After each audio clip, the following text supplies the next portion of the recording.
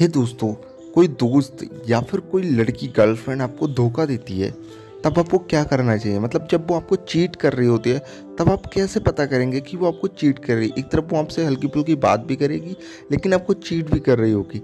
तो यार, इसे कंफर्म कैसे करना है? इस वीडियो में आपको ये बताने वाला हूँ कि लड़की जब धोखा देती है तो उसमें क्या क्या चेंजेस आ जाते हैं।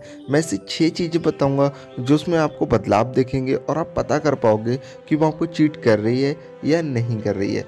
देखो यार, सबसे पहला, मिलने से बचना। जब भी आप उससे बोलोगे मिलने के लिए, वो कोई ना कोई बहाना बना देगी क्योंकि उसे कहीं और भी टाइम देना होता है। चाहे फैमिली में समझो, चाहे किसी और लड़के के साथ समझो, पर वो आपको चीट कर रही होती है क्योंकि उसे किसी और से बात करनी होती है या फिर मिलना होता है। तो इसलिए वो आपसे मिलने से बचेगी।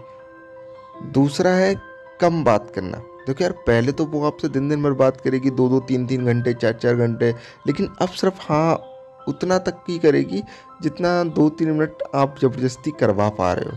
ठीक है, मेरा मतलब है, वो अपने मन से कभी आपसे बात नहीं करेगी, जितना आप सोचोगे ना, उतना ही बात करेगी। एक, दो मिनट, तीन मिनट, पूरे दिन में आप बार बार कॉल करोगे तो थोड़ा बहुत बात कर लेगी। तीसरा है कि आपकी बातों को इग्नोर करना। मैंने बोला ना, जब भी आप उसे कॉल करोगे तो आपको लगेगा कि आप उसकी बात से बोर हो रही है। वो आपको इग्नोर करेगी। मतलब ऐसा जताएगी जैसे आपकी बातों में कोई इंटरेस्ट नहीं आप पहले की तरह नहीं रहे और वो फिर आपको छोड़ने के बहाने ढूंढेगी। ठीक है?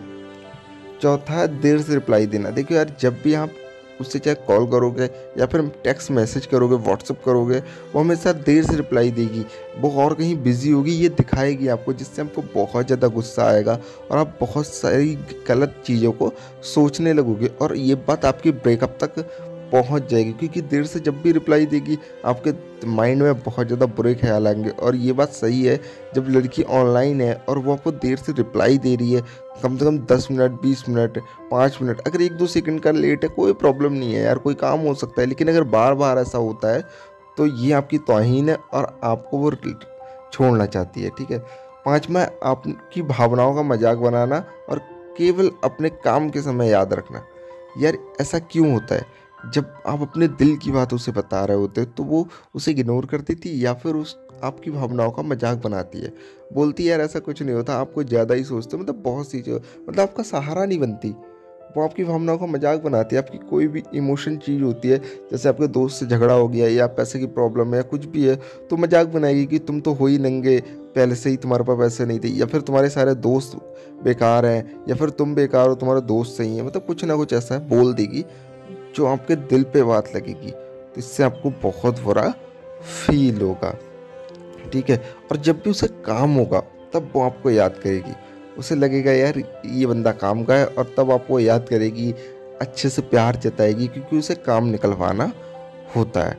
तो ऐसे अगर करती है तो भाई हंड्रेड परसेंट दूर रहना, वो आपको चीट कर रही है। अगर काम के समय आपको याद करती है।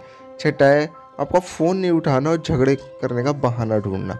देखिए यार, जब भी आप उसे फ़ोन लगाओगे, वो फ़ोन तो उठाएगी नहीं। लेकिन झगड़े करने का बहाना भी ढूंढेगी, क्योंकि अगर उसने फ़ोन उठाया तो समझ लो आप उससे बात करोगे, और बात करोगे तो वो झगड़ा करेगी। क्योंकि आपसे ब्रेकअप चाहिए ना, वो आपको चीट कर रही है, वो किसी और की लाइफ में जाने वाली है। तो याद रखना, अगर ऐसा होता है तो आप उस लड़की को छोड़ ही दो यार। ऐसे बार बार घुटने से अच्छा है कि आप खुद ही छोड़ दो या फिर एक बार बैठ के बात कर लो कि कोई और प्रॉब्लम तो नहीं है। लेकिन देखो, अगर फैमिली प्रॉब्लम या कुछ और प्रॉब्लम होती है तो इनमें से एक दो बात ज़रूर से ही निकलेंगी। लेकिन अगर छः की छः आपके साथ हो रही हैं तो हंड्रेड परसेंट वो आपको चीट कर रही है, इसमें कोई भी शक की बात नहीं है। बाकी आप कंफर्म कर लो, उससे बात कर लो और भाई ब्रेकअप कर लो, क्योंकि लाइफ में कमी नहीं है लड़कियों की। चाहे वो आपका सच्चा प्यार ही क्यों ना हो, आपकी रिस्पेक्ट से ज़्यादा ज़रूरी नहीं है। तो खुद की रिस्पेक्ट करो लड़की, खुद आपके पास चल के आएगी। खुद को ये समझाओ कि तुम सबसे बेहतर हो। और जब ये हो जाएगा ना भाई तो तुम सबसे ज़्यादा लड़कियों को इम्प्रेस कर पाओगे। सच्चा प्यार भी आपको आसानी से मिल जाएगा। तो अगर वीडियो अच्छी लगी हो तो एक लाइक कर देना, चैनल पर पहली बार आए तो प्लीज़ आप सब्सक्राइब करके जाना। धन्यवाद।